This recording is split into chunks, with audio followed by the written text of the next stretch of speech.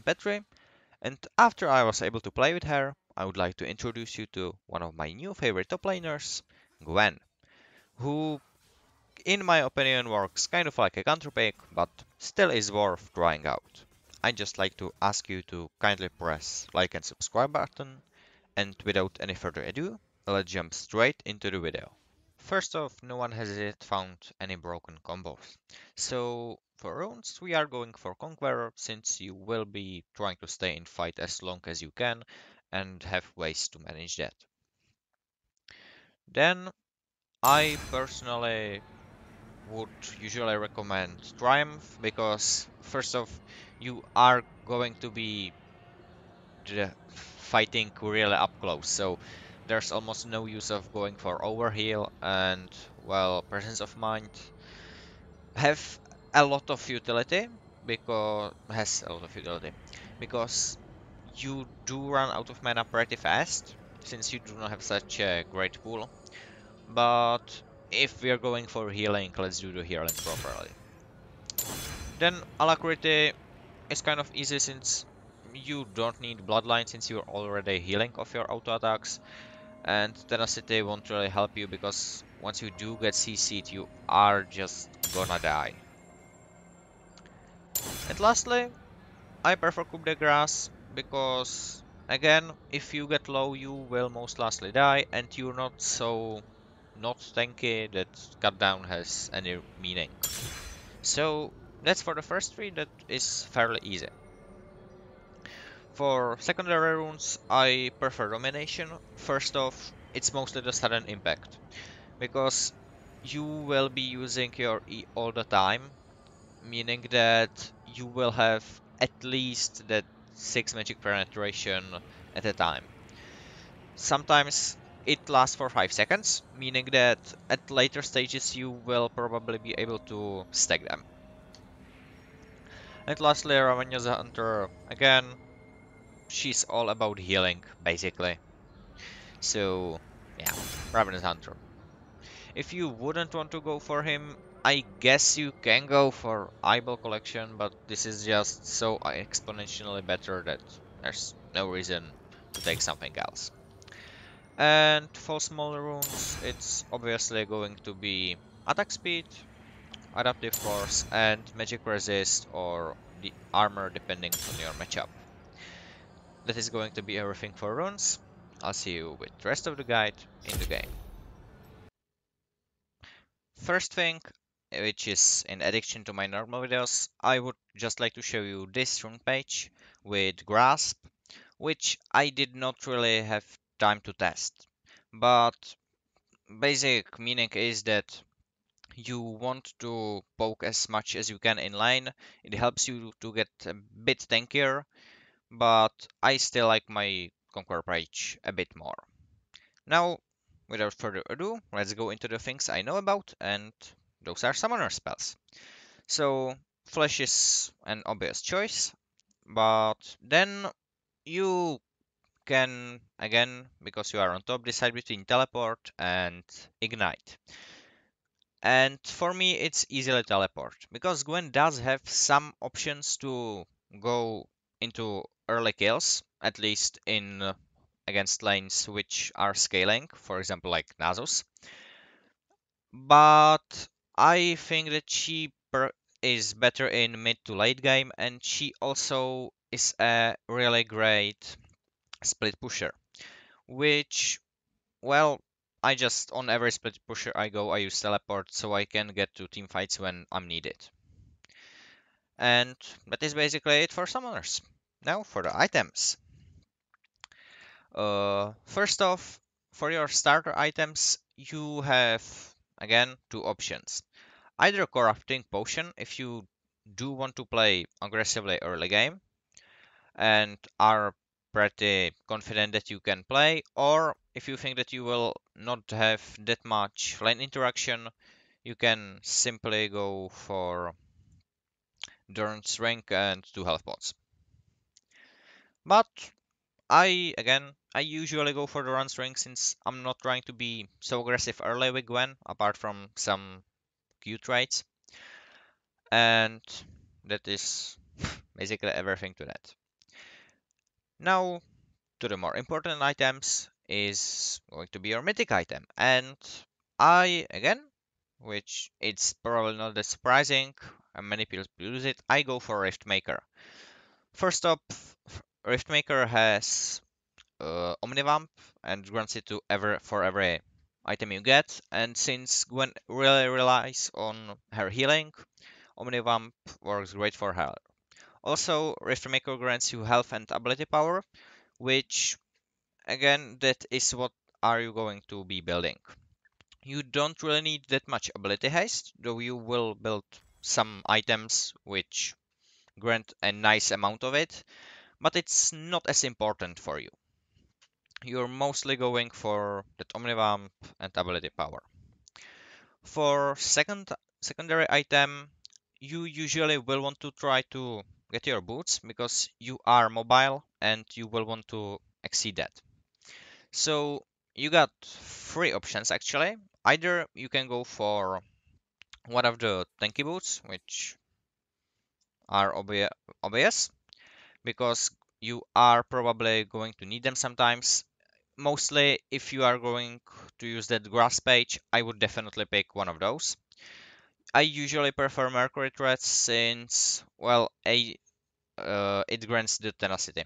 And being CC'd is terrible for every champion, but for Gwen who relies on healing especially. And the third option is going to be Sorcerer Shoes.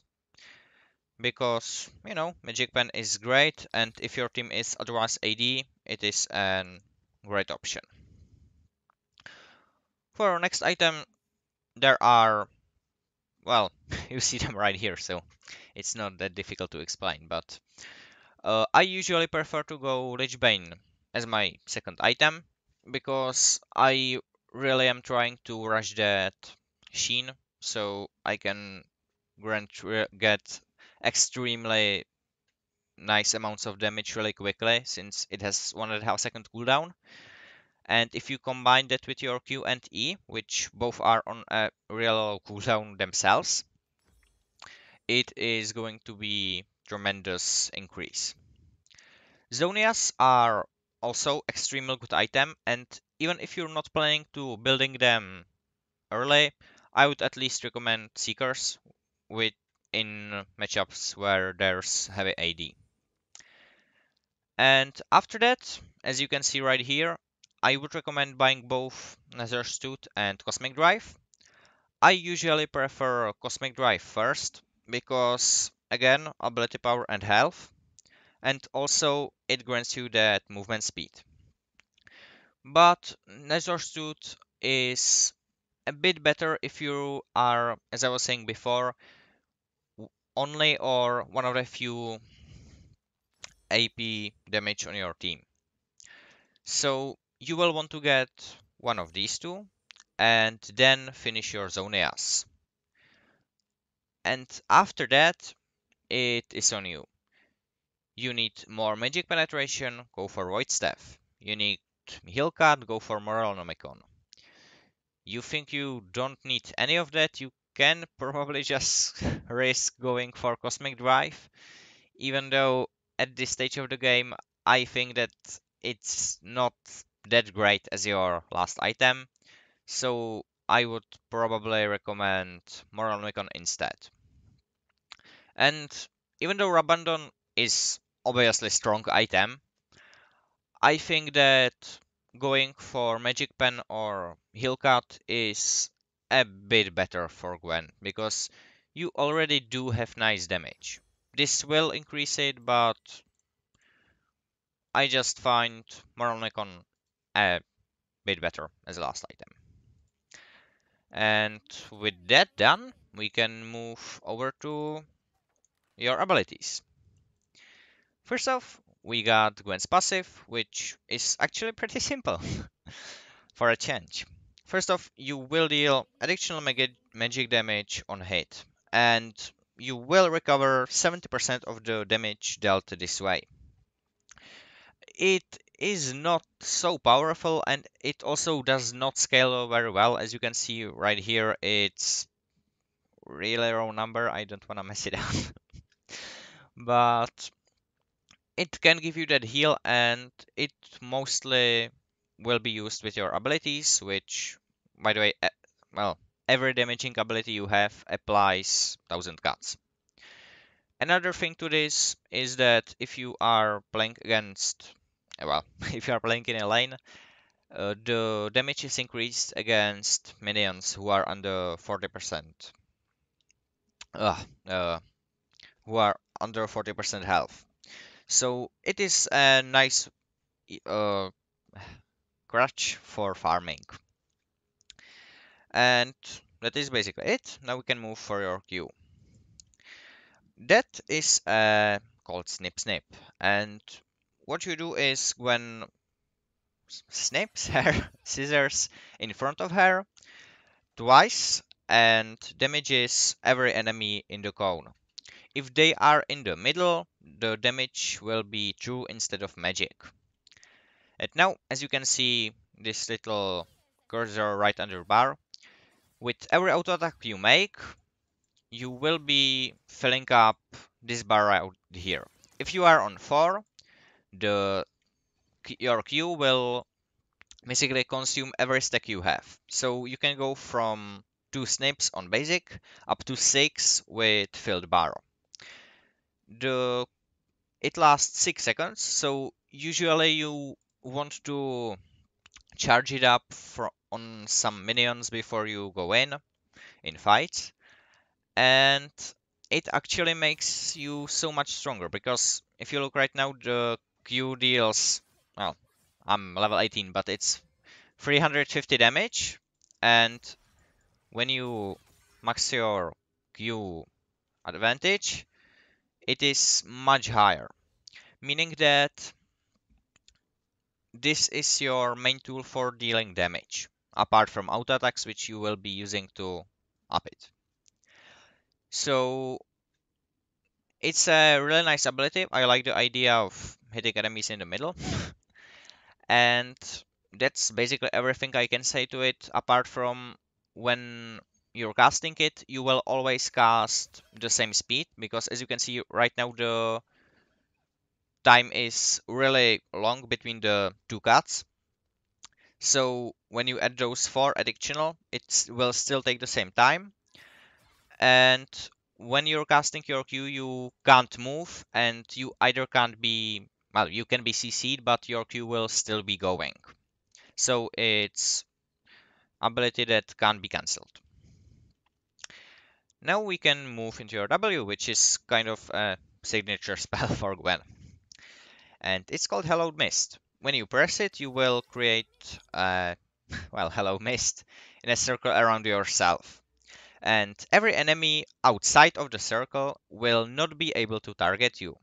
This counts for monsters, champions, and minions.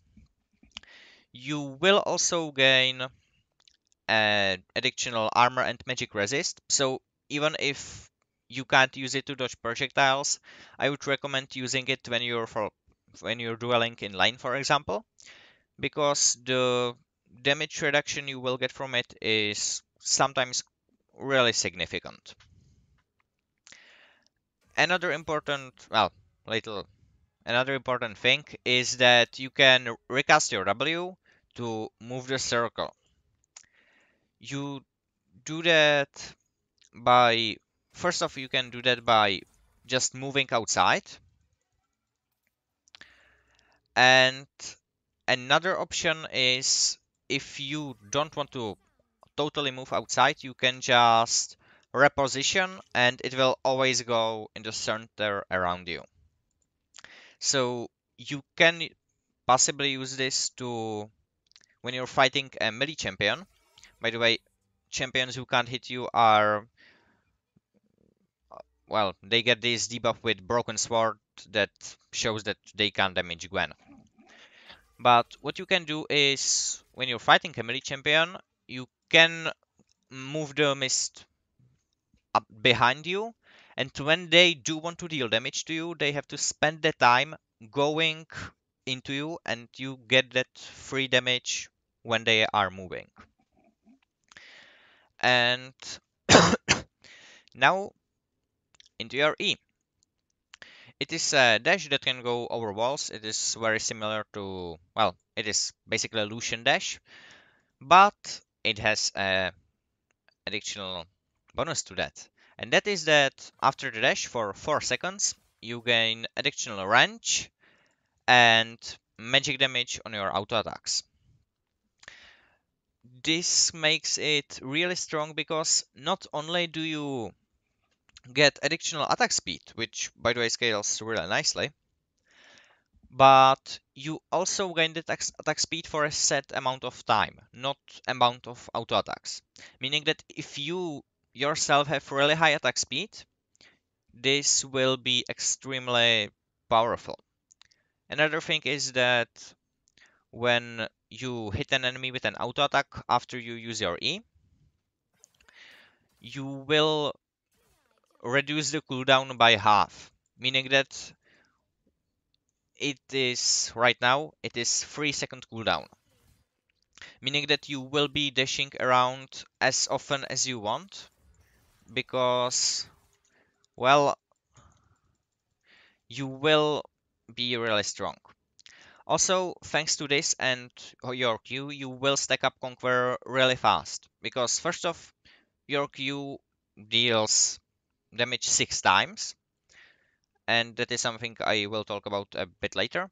But this also grants you so much attack speed and possible safety because of 100 range that you can build it up. The damage for the additional damage also works against turrets, which means that you will be able to split push really fast. And possibly the only last thing I can say to this is that you can't move during your queue, but you can use your E, which is your only way of mobility when you are in the queue. And lastly, we got your ultimate, which is called Needlework. Basically, you have this possible long-range projectile, which will send out a needle, which will damage every enemy it goes through, and heal you for the amount for the 70% amount from your passive. When you do that, you gain this bar. And when you hit enemy with your Q or auto attack, you can recast the ability with 3 needles. When you do that again, you can recast it with 5 needles. Again, you will be healing for 70% of every champion hit. And every needle is counted as a different sound as a different as a different projectile. Meaning that if you're playing against something like Leona and she uses her W for the damage reduction you deal less damage to her than to someone else with same damage stats uh, armor and magic resist stats because every needle is a small amount of damage and well that is basically your ultimate. It is a great sustain tool and can cause extreme damage during team fights if your team is able to protect you somehow. Now i guess i will just quickly go over combos and we'll get into the laning and dress. So i don't really know that much about Gwen, so I could give you many reliable things but one of the easiest one is using your E as an auto attack resetter, meaning that you can use this usually during early game when enemy engages on you and you don't need to run away from them. You can use this to get that additional attack really fast. And then we got a basic trading combo while you are you are in line, and that is going to be E into your W and then basically you wanna hit enemy with that empowered auto attack. Let out your Q. You will possibly have some stacks for minion wave. And then keep going with E and auto attacks as long as you can. Usually you should deal at least half em half enemy's health since you have that true damage from your passive um your Q and it looks something like this. and that's it. You use your W, as I was saying before, for that armor and magic resist. It does not really have any value unless, unless of course, your opponent. You can use this uh, in the in a smart way where you use your W, move to your opponent, and then you can damage him. And as you could see at the start, he was not able to damage me as you could see at the start, he was not able to damage me. That's what I wanted to say. Anyways, the last big thing I can show you is on level 6 when you get your ultimate, which is a great power spike for Gwen. And basically what you wanna do is Possibly lay down your W again for those stats that can save your life. And then use your ultimate for the first time. E around the enemy. Auto attack him two times. Use your R for the second time. Auto attack him two times. And well, I, I will show you and then explain it.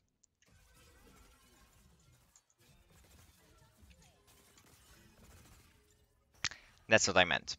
You do want to put in those two auto attacks because first off, you need at least one to get second cast of your R. After you've done that, you will do that those two auto attacks again. Use your Q, which is now on max amount of damage. You, by the way, can see that if you press Shift on your keyboard. And when that Q is over, you can use your third cast, which is there for that extreme amount of damage. By the time you're done casting your R, you have your E ready and you can keep chasing. Which, by the way, is a great thing for Gwen since she has extremely good chases thanks to her E, which allows her to catch up to enemies extremely fast. And if you are close enough to get that one auto attack off, you will be there even sooner.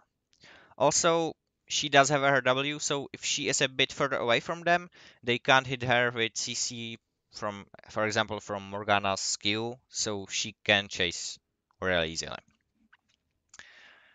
But now into some laning.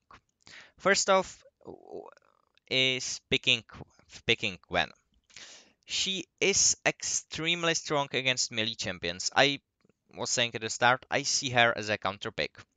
Because while she does have that uh, true damage from her Q, that extreme amounts of he healing, and max health damage, plus with mobility, she does not really have any form of CC. Meaning that when you are trying to engage on a ranged champion, you will possibly be able to catch up to someone like Ashe, who has low mobility, if she doesn't expect that you're coming. But you can't really get close enough to any ADC before they deal significant amounts of damage to you. That is countered by the W, which basically doesn't allow ADC to kill you. So your best chance is to you again split push, possibly kill someone who will try to stop you, and then TP into a fight and hope that you are close to ADC you can kill. Because otherwise you will be forced to fight with frontline and drop your W so they can't damage you. You have this kind of uh, I can touch you, you can touch me. Uh, because as I was saying, you don't have any way to actually catch them because you do have your dashes, but uh, many ADCs have at least some form of CC, for some slows, and they themselves have some mobility. So you usually just want to go 1v1 with melee champions, which is why I would recommend banning some long range champions in the top lane. Next, once you are in the lane, you do have a nice way of freezing the wave because you do have that self-sustain which allows you to freeze the lane and heal back up the damage you've taken from the minions. So that is definitely one plus side of Gwen. Another thing is that you have a great range when you use your E, so even if you are in a dangerous situation, you can usually just try to farm from safety because well your E just have that has that the much range. And also all of your abilities, well apart from ultimate since it's an ultimate, are on a really low cooldown. Your E doubling uh, reducing the cooldown by half if you hit length 1 auto attack. And your Q which basically as you can see it has 5 second cooldown on level 1 so if you well it's not 5.2 seconds I have CD but basically if you land your Q with full stacks and hit another 4 auto attacks on when you are level 1 your queue will already be up and you can use it with max stacks again. Then Gwen does not have that high uh, mana cost. That is kind of because she uses her abilities extremely often and she does not have a high mana pool.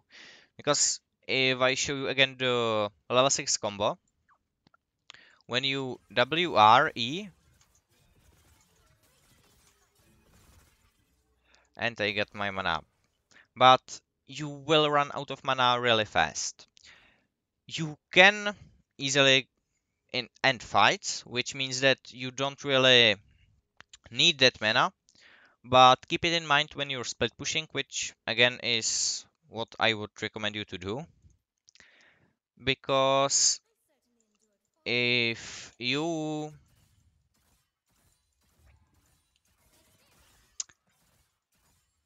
if you are going for the tower, you will be using your E a lot. And as you can see right now, I've taken one wave and destroyed one tower. And it cost me, well, what did I did? I cast E three times, Q once. So you gotta be careful on how much mana you are. And that is basically going to be it.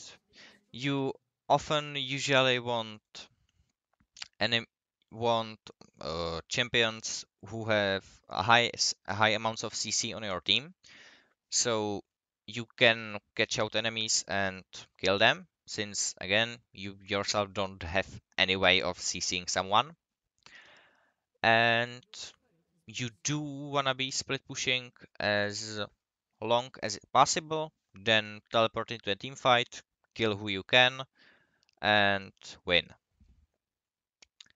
And yeah, also if you do this, you can you can be small Gwen, which is really cool, right? Please like me. Well, that is going to be everything. I hope I teach you something new, and I will see you in the next video. Petri out.